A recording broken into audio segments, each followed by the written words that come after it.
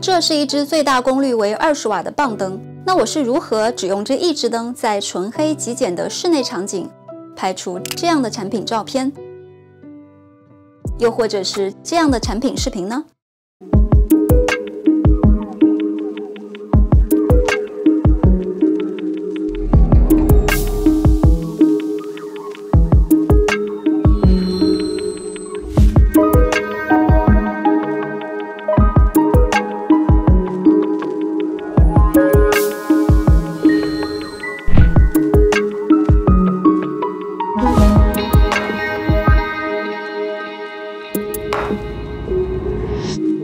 ？Hello，大家好，我是陈芳。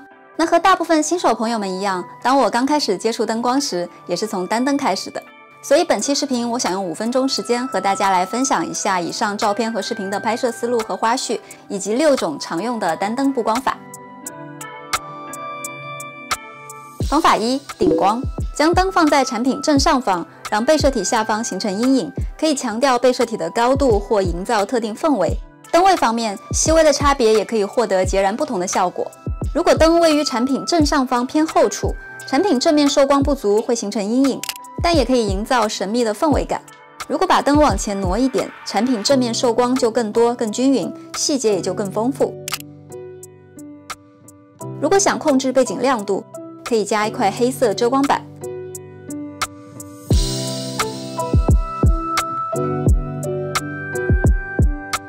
灯光方面，我使用的是思锐可伸缩全彩像素管灯二代 T60X，灯体小巧轻薄，菜单界面简洁，手柄握持也很舒适。底部有四分之一螺孔，能直接上灯架。做顶灯时，灯架可以轻松支撑，不用担心重量或空间问题。方法二：侧顺光。将灯放在产品左侧前方，可以强化其立体感，同时保留正面细节。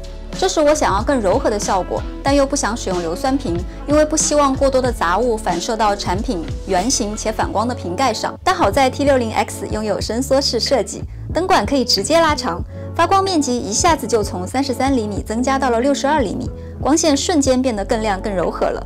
我还使用了转盘让产品动起来，并依旧对背景做了遮光处理，增加产品与背景之间的明暗反差。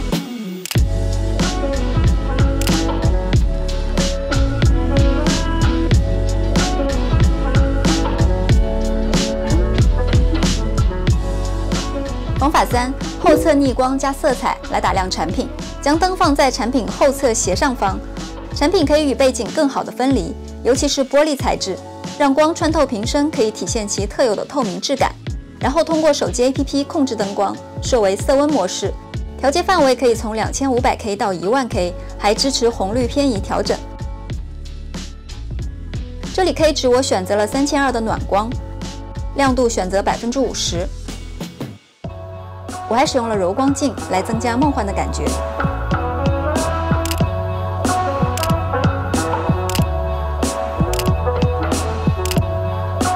方法四：旁侧逆光加色彩来打亮背景。将灯放在产品左后侧，朝背景打光。此时产品受的光一部分直接来自灯光，另一部分则来自背景纸的反射光，光效更加柔和。这里我切换到了 RGB 采光模式，可以选择 APP 自带的色彩参数。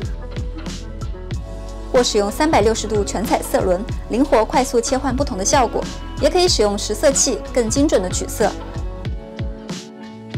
还有多种色纸模式可以选择。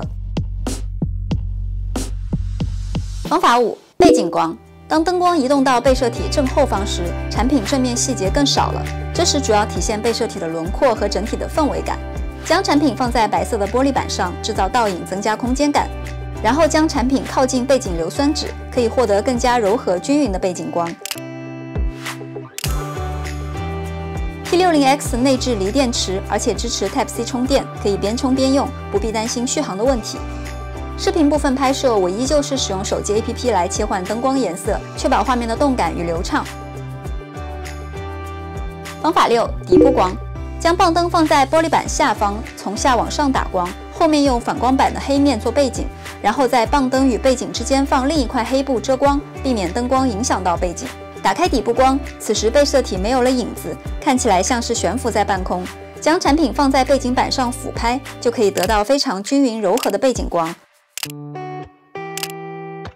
我还尝试了不同的特效模式，获得更动感有趣的画面。T60X 有十三种情景特效和十种幻彩特效，选择还是非常丰富的。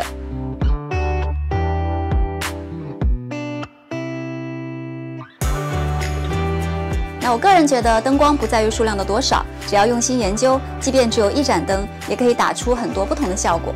好啦，以上就是本期视频的全部内容。如果你喜欢这样的分享，请记得给我一个一键三连、点赞、收藏、投币或转发给你的朋友们。那我们下期视频再见啦，拜拜。